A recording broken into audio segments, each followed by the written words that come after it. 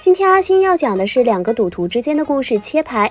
影片一开始，一个身穿西部牛仔套装的男人走进一个酒吧，酒吧女招待很快注意上了这个男人，便走上前去搭讪。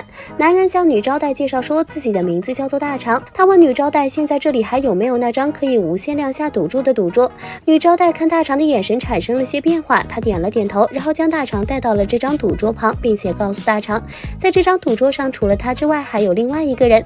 他从女招待的嘴里。得知这个人的名字叫做二狗，提起二狗的名字，在这个赌场上可以说是无人不知，无人不晓。就连是坐在吧台上的调酒师都提醒大肠，二狗不是什么简单的人物，让大肠提防着点二狗。其实早在一年前，大肠就知道了二狗这号人物，并且早已和二狗交过手。这个世界上怕是只有二狗才能够算得上是自己的对手。随后，大肠来到了二狗的赌桌前，只见二狗的态度非常随意。明显是一副看不起大肠的样子，时不时的用话调侃大肠：“你以为你还是当年的赌王吗？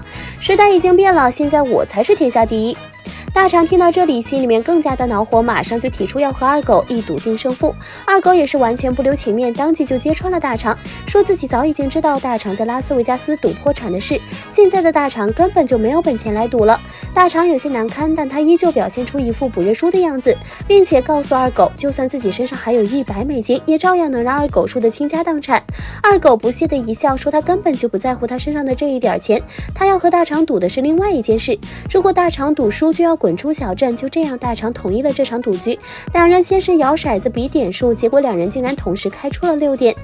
大肠觉得有些扫兴，并且提出要玩更加过瘾的俄罗斯轮盘。二狗从车的后备箱当中拿出了一支左轮手枪，在手枪转轮中放上一颗子弹。然后两人交替拿着手枪，冲着自己的太阳穴开枪，直到其中一方不幸被子弹打中而亡为止。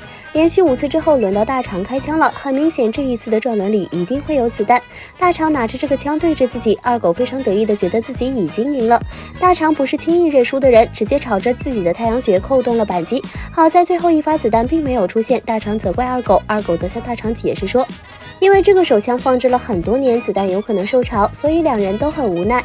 这时二狗嫌弃赌命还不够过瘾，想要来点更大的，用更刺激一点的东西当赌注。于是走火入魔的两个赌徒又开始玩起了打牌，谁输掉谁就要被切掉一根手指。第一局里，二狗输给了大肠，大肠挥刀毫不犹豫地将二狗的手指从手上切了下来。但偏偏二狗今天的运气很背，两场赌局下来，二狗的左手只剩下了三根手指。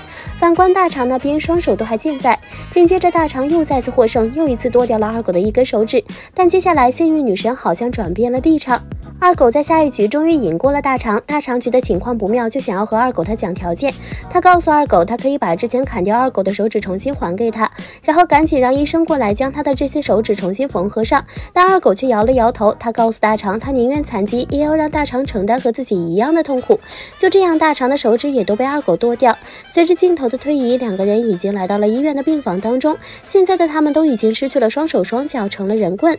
但是赌博游戏仍在继续，没有双手。双脚，他们就用鼻子来赌下棋，这是他们人生当中的最后一场赌局，但结果会是什么？无